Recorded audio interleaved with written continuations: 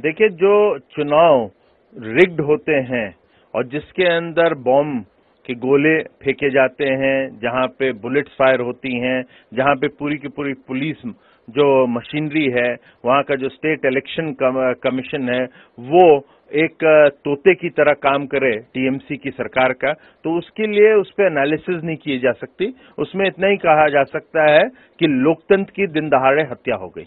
इतना आतंक के होने के बाद भी बीजेपी का ग्राफ बढ़ा है। ये दिखाता है कि पॉपुलर मूड बीजेपी की तरफ़ है, पॉपुलर मूड बंगाल में टीएमसी के खिलाफ है।